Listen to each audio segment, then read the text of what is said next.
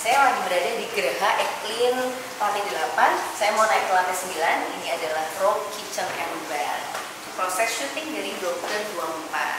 Subscribe ya.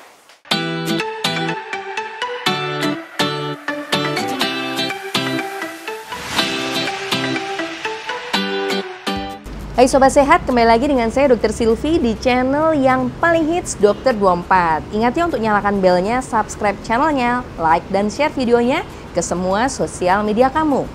Memiliki buah hati tentu menjadi hal yang diidamkan bagi setiap pasangan apalagi yang baru saja menikah. Tetapi terkadang bagi sebagian orang mendapatkan keturunan tidak semulus yang dibayangkan. Karena terdapat beberapa hal yang bisa menghambat terjadinya kehamilan. Apa saja ya? Nah, kita bahas satu persatu. Pada perempuan, penghambatnya bisa terjadi karena beberapa faktor. Misalnya faktor usia, proses ovulasi terganggu, menderita endometriosis, mengalami infeksi pada organ reproduksi dulunya ya, sehingga terjadi penyumbatan di saluran tuba falopi atau bahkan juga mengidap kanker. Tetapi penghambat kehamilan tidak hanya muncul dari perempuan saja loh. Penghambat kehamilan juga bisa terjadi dari sisi pria atau suami. Misalnya adanya gangguan testis, memiliki masalah ejakulasi dini, adanya infeksi, cedera pada organ reproduksi, organ reproduksi terpapar panas yang berlebihan dan juga bisa karena menderita kanker. Tidak hanya dari faktor fisik dari kedua belah pihak, gaya hidup juga bisa menjadi faktor penghambat kehamilan.